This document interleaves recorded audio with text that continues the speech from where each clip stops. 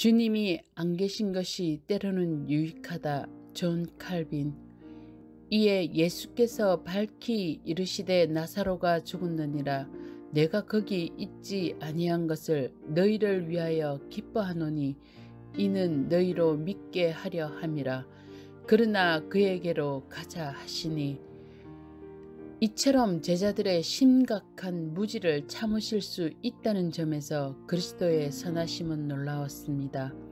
그리고 실제로 주님이 성령의 은혜를 더 많이 베푸시기를 잠시 지체하신 이유는 한순간에 제자들을 새롭게 하시는 기적을 더 큰 기적으로 만드시기 위해서였습니다.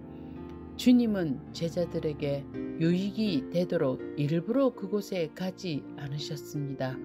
주님이 즉시 나사로에게 도움을 주셨다면 주님의 능력이 그처럼 눈부시게 나타나지 않았을 것이기 때문입니다. 하나님의 역사는 평범한 자연의 이치에 가까워질수록 그만큼 높은 평가를 받지 못하고 그 영광도 덜 선명하게 드러납니다. 이는 우리가 일상적으로 경험하는 일입니다. 하나님이 적시 손을 펼치신다면 우리는 하나님의 도우심을 인식하지 못하기 때문입니다. 그러므로 제자들이 나사로의 소생을 참으로 하나님의 역사로 인식하려면 하나님의 도우심이 지체되어 인간의 처방과 무관해져야 합니다. 그러나 우리는 내가 앞에서 말한 바 하나님의 우리를 향한 부정적인 자비가 여기서 그리스도의 인격 속에 표현되었다는 점을 기억해야 합니다. 하나님이 우리로 하여금 고통에 짓눌리고 그 속에서 오래 시달리게 하실 때는 바로 그런 식으로 우리의 구원을 앞당기신다는 사실을 깨달읍시다. 그럴 때 우리는 틀림없이 신음하며 당황해하며 슬퍼하지만 하나님은 우리의 유익으로 인해 기뻐하시며 그런 측면에서 우리에게 베푸시는 자비를 두 배로 보여주십니다. 즉 하나님은 우리의 죄를 용서하실 뿐만 아니라 기꺼이 그 죄를 바로잡을 방편을 찾으시는 것입니다. 아멘. 창조 때는 말씀만 하셨지만 구원 때는 피를 흘리셨다. 토마스 왓슨. 크신 지혜가 우리를 만드실 때 드러났지만 더 큰 이지적인 지혜는 우리를 구원할 때 드러났다.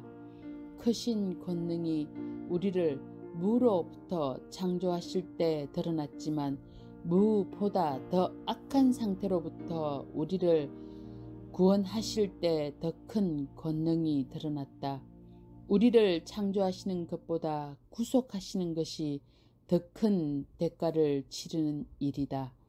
창조하실 때에는 오직 말씀만 하셨지만 구원하실 때에는 피를 흘리셨다. 창조는 하나님의 손가락의 사역이었으나 구속은 하나님의 팔의 사역이었다. 창조하실 때 하나님은 우리에게 우리 자신을 주셨지만 구속하실 때에는 자기 자신을 주셨다. 창조를 통해 우리는 아담 안에서 생명을 얻지만 구속을 통해서는 그리스도 안에서 생명을 얻는다. 창조를 통해 우리는 지상 낙원에 대한 권리를 가졌지만 구속을 통해서는 하늘의 왕국에 대한 권리를 갖게 된다. 말씀 속에서는 하나님의 음성을 듣고 성내 속에서는 하나님의 입맞춤을 경험한다. 우상 숭배는 무엇보다 좋은 설교가 결여될 때 초래되었다. 사단은 사람들이 말씀으로 나아오지 않고 멀리 떠나 있는 것을 볼 때 기뻐하지 않겠는가? 사람들의 몸은 예배 가운데 있으나 마음은 시장에 가 있다.